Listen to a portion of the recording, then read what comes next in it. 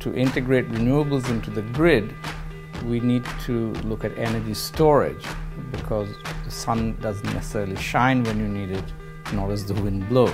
The City University of New York had decided to set up an energy institute to aggregate expertise across its 23 campuses. ARPA-E was trying to give us a challenge which was very, very hard to meet, but uh, was uh, just about possible. What we're trying to do is make batteries which could be of the same scale as when you dam a river.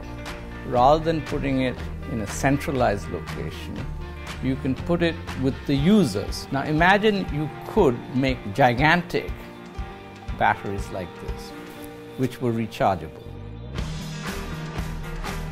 From the beginning, ARPA-E was looking for a very different type of battery. The grids call in particular was cost driven. What's the cheapest possible battery you can make? All in, looking at all systems. The call itself actually inspired our use of the manganese dioxide. Zinc manganese dioxide battery is a safe, low-cost chemistry. You can't recharge them for, for two reasons. One is that the, the zinc plates and deplates as it charges and discharges, but because of the nature of the reaction, it, it forms needles. These needles can short circuit. This is the pitfall of the current alkaline battery. The manganese dioxide is a different reaction entirely. The trick there is to stop the atoms from significantly rearranging it all. We start with these very tiny cells. We make sure that the actual atomic structure does not change too much over the course of cycles. We've been able to really identify five or six places not to go with the manganese dioxide. And when we don't do these things, the battery lasts over a thousand cycles at a cost that will allow us to reach $100 per kilowatt hour. We can put them either in buildings and handle the load for a given building, or we can put them in areas that distribute the load for multiple buildings, or say something like a, a zip code.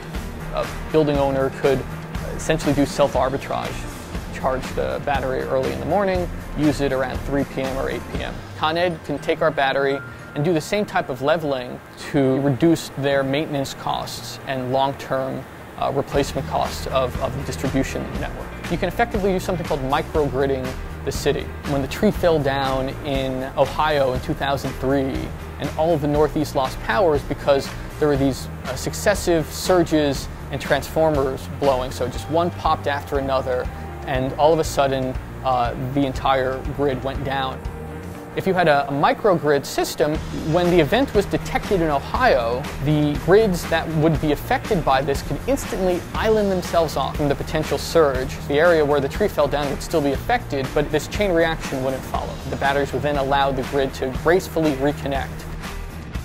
It's evident that the government in the United States has done the support innovation in almost all areas which have really become major industries. What ARPA-E is doing is acting in that role for energy, and I think it's doing it very successfully. It's taking things out of the lab, getting them to the point where you can then start to get commercial partners. You sow seeds and some of the plants live, some of them die, but at the end, some live